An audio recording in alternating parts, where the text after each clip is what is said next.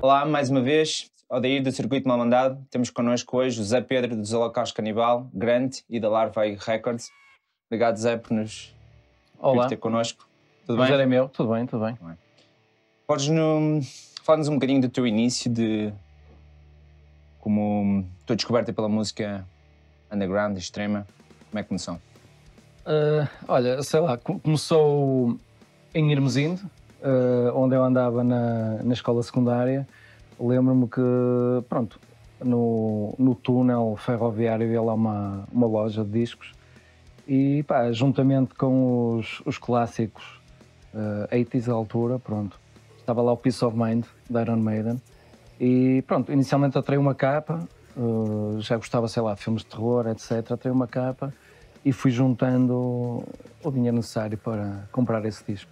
Fui replicando o desenho da capa algumas vezes, em cadernos e tal. Pronto, fui ouvindo e pronto, basicamente foi apenas um abrir de portas para ir descobrir coisas mais, uh, mais pesadas. Pronto.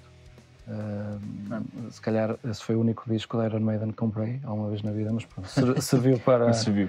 para, para um início. Nós temos muita gente que, que, que é exatamente mesmo, mesma coisa. Iron Maiden. Chegaste a ver algum, uh, na altura, foste ver Iron Maiden? Vi, vi, mas já, já um bocado posteriormente. Uh, acho que só vi uma vez também. Mas pronto, há uma data de bandas que uma pessoa gosta sempre de picar o ponto, pelo menos uma, uma vez. Não? é? E daí até ao primeiro concerto que tu, tu viste ou que foi marcante? pelo menos para ti?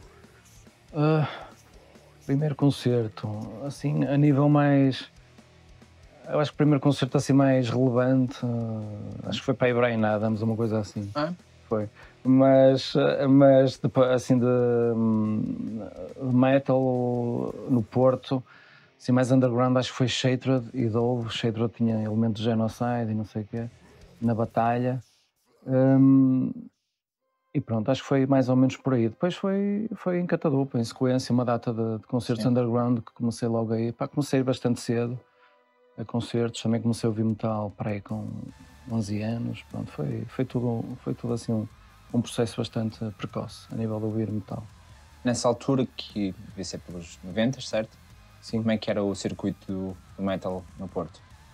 Ah, ora bem, a nível de, de lojas, tínhamos a Halloween, no, que era no Centro Comercial Stop, que era gerida por um ex-vocalista do Web, o David Duarte, e pela mulher, a Ju. Pronto, o David, entretanto, já, já faleceu há, há uns anos. Eh, mas pronto, ele na altura era assim o grande pioneiro e impulsionador da, da cena portuense. Eh, pronto, não havia grandes importações de discos nem de nada, também não, não havia plataformas virtuais para os ouvir.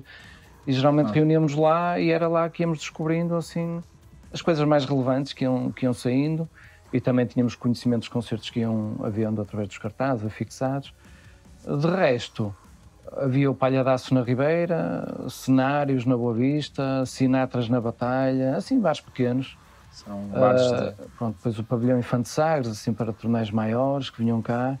Ah, pronto, bandas portuguesas a tocar na altura, Genocide, Gangrena, uh, Double Noise, pronto, era mais, era mais por aí. Essas bandas mais representativas, as bandas que tinham um álbum na altura, ah, aquela vaga de 94, quase todos esses álbuns mais representativos foram, foram editados em 94. Tormentor, Evisceration, pronto. ah, era por aí que na altura se dava. A cena girava mais à volta dessas bandas, digamos assim.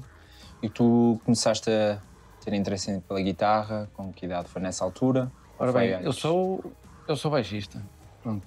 Uh, mas, uh, pá, foi, foi, aquilo era um, uma banda Doom que existia no Dank Season e no, nos intervalos do, nos intervalos dos, ensaios deles, uh, eles gentilmente deixavam-nos fazer algum barulho, pronto. E foi aí que surgiu uh, Holocausto Canibal, basicamente. A primeira vez que peguei num baixo foi no primeiro ensaio do Holocausto Canibal. Ok. Uh, pronto, juntei mais alguns amigos que também gostavam de death metal e, e pronto, e foi isso. E a partir daí foi Isso em que ano? 97. Então, o Holocausto irá fazer...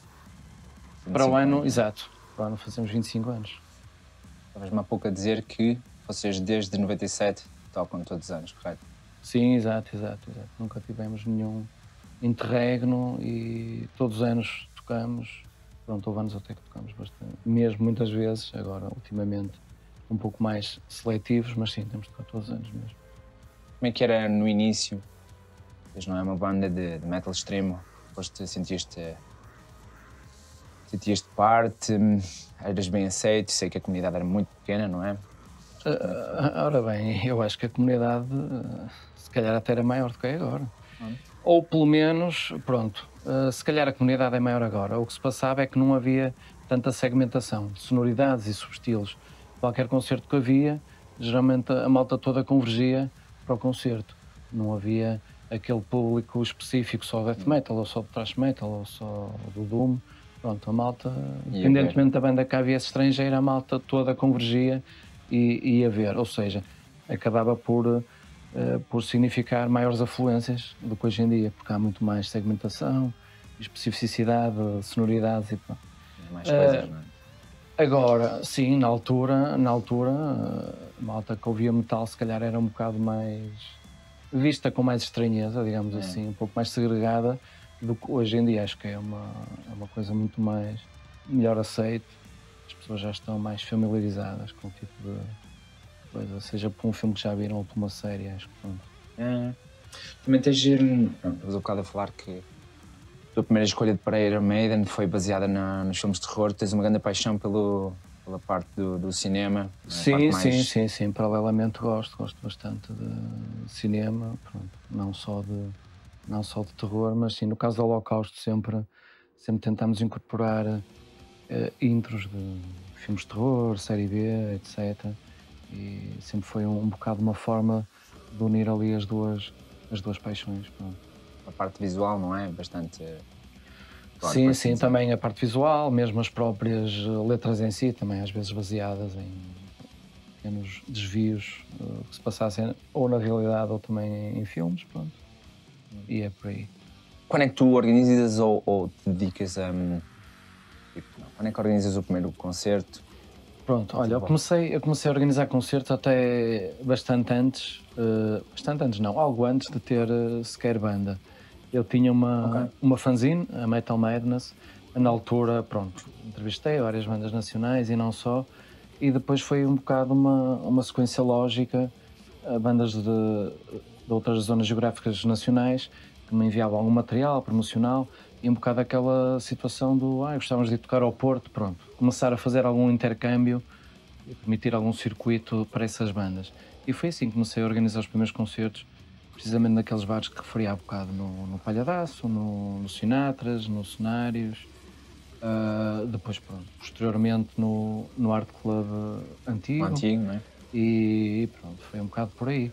Uh, geral, a minha predileção era geralmente por bandas uh, fora do Porto, precisamente para possi possibilitar essa, essa ponte e trazer bandas que ainda não. que as pessoas do Porto ainda não tivessem visto alguma vez.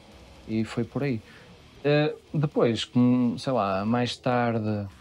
Um, pronto, trouxe muitas bandas estrangeiras ao Art Club Antigo, cheguei a trabalhar também com a Division House. Depois criei a minha própria promotora, a Big Dog, que, que fazíamos o Caos Emergente e o Grand Fest também. E também chegámos a. depois fizemos programação desde o Cinema Batalha até. Há muitos sítios mesmo. Okay. Mesmo, mesmo, algumas festas municipais, etc. Pronto. Mas o Caos, o Caos Emergente talvez tenha sido assim o festival mais, mais relevante e mais mediático, que teve mais edições.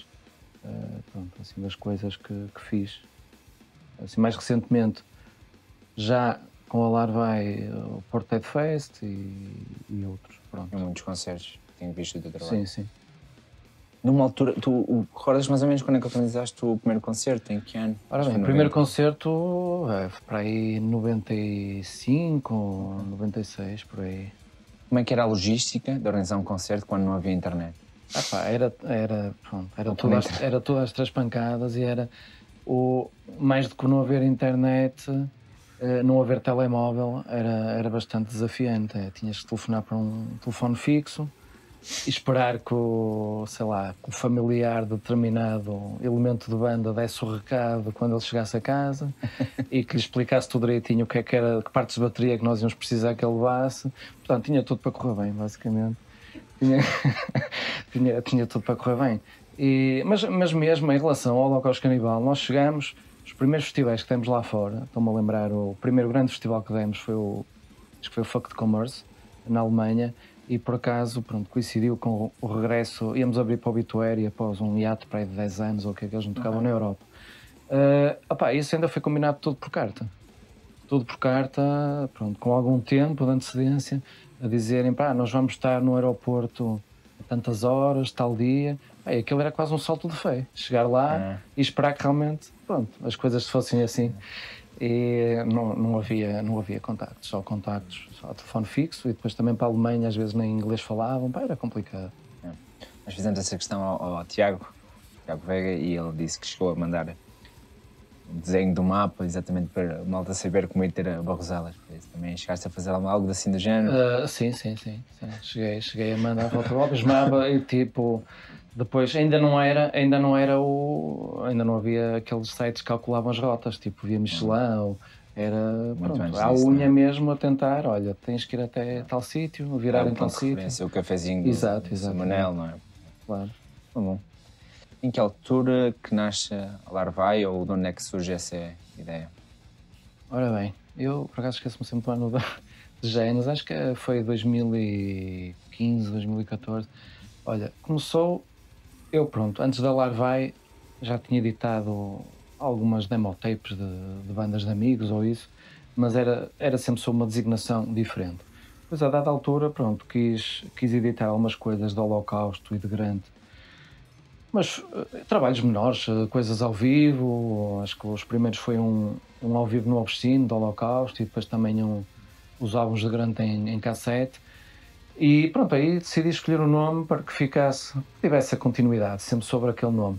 Mas os primeiros anos foram assim muito lançamentos esporádicos que, das minhas bandas e depois passado para aí 3 ou 4 anos é que pronto, se tornou assim um bocado mais, mais prolífero e o ritmo editorial um bocado maior e pronto, claro, culminou aqui com o, o período pandémico em que tive realmente mais tempo para me concentrar sobre isso e havia projetos que estavam em gaveta já há algum tempo algumas reedições que pronto, também fiz ao longo dos tempos de, de Genocide, agora mais recentemente de Gangrena, multiformatos, com uma box que tenta. Pronto, as edições tentam. O meu grande objetivo nas reedições é sempre tentar oferecer algo mais que a edição original, seja extras áudio e seja realmente os multiformatos, que na altura só se em CD, também agora servir em vinil, em cassete e, e pronto, também fazer um, algum trabalho de, de recolha retrospectiva, uh, pronto, flyers, setlists, essa, okay. essa coisa toda.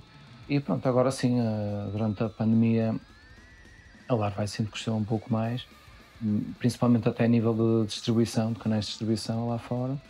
E pronto, e agora vai ser um desafio realmente, uh, as coisas todas agora abrindo um desafio para conciliar tudo. Pronto.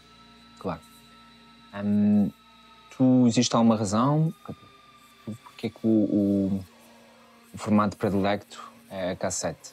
É algo que tu, tu consideras um, um colecionador de cassetes? É algo que um formato que tu é sim, não, eu, não é assim, não, não é o meu formato predileto. A Larvae foi-se notabilizando pela cassete. Uh, pronto, é assim, no, no meio do, do metal, eu acho que a cassete sempre teve um papel uh, preponderante. Pronto. Claro que a cassete teve agora o seu revivalismo, graças se calhar a, a Record Store Days de, de, editoras multinacionais, que se calhar não tinham apostado, ou já não apostavam há muitos anos nesse formato, e claro, graças a isso, se calhar impulsionou-se.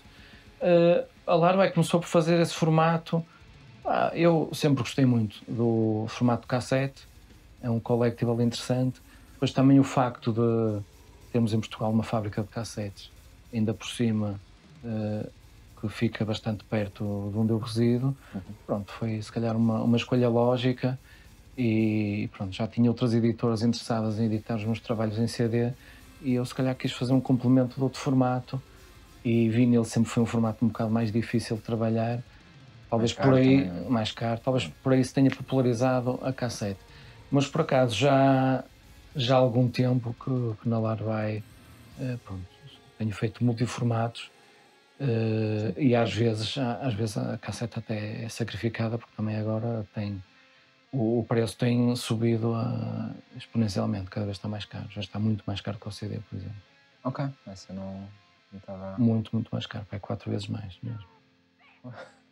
É porque há pessoas que continuam a pensar que a cassete às vezes é um. faz cassete por ser mais barato ou mais acessível, mas é completamente falso. Está bastante. está quase a atingir o valor do vinil mesmo. Ok. Dessa, dessa não estava é, esperando. É verdade. É? Um, contas com quantas edições assinadas pela Arvai? Olha, ontem, ontem chegou-me precisamente a edição número 67. Ah. Foi um, um CD DVD ao vivo de, de Checkmate. Foi ontem o um lançamento no, na Maia, no cinema Venepor e pronto, chegou precisamente ontem, portanto, 67, mas até o fim do ano quanto atingir a edição número 80. Há muitas coisas em curso, portanto... Até o final do ano vais ter três edições? Vou. Uh, pronto, é assim. Se calhar vai cair quase tudo ao mesmo tempo, lá está, é os encantos do, da morosidade atual do vinil. Está muita coisa encalhada okay. e a qualquer momento poderá chegar essas edições. Boa, temos muito para, para consumir então. É verdade, é verdade. Estás entusiasmado de ir eh, voltar aos palcos? Estás, não estás? Opa, sinceramente, houve uma altura que eu fiquei quase acomodado à vida de, de não estar nos palcos. Sabia-me bem, não sei, estava assim. Também porque estavas ativo, não é? Uh, a fazer trabalho. Sim, estava entretido com outra coisa, é verdade. Mas sim, agora estamos. Uh, aliás, vamos ter precisamente hoje o primeiro ensaio, depois de, de muito, muito tempo, com o Holocausto, e claro, estamos animados. Como também já marcamos uma, umas datas, pronto, vai ser, vai ser bom voltar, de certeza absoluta. Não é? Achas que vais conseguir? Acho que também o trabalho de vai tensionas continuar ou estás, continuas motivado? Uh, não, não, não. É assim, uh, eu por acaso o trabalho de edição tem-me dado, tem-me realizado bastante é? e, uh, e tem corrido bem. E pronto, comecei, comecei as minhas bandas, outras bandas de referência nacionais.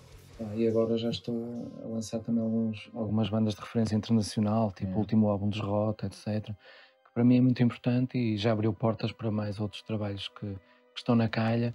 Portanto, o meu objetivo com a Larva é, é continuar. Uh, também com as minhas bandas, uh, a nível de atuações, já, já, todas elas já estavam um pouco mais seletivas nas atuações que, que faziam, Portanto, eu acho que é plenamente conciliável manter o mesmo, o mesmo ritmo. E apesar de eu dizer trabalhos de edições, eu reparei ontem no, no Metal Point uma porrada de cartazes de concertos já tens anunciados. É?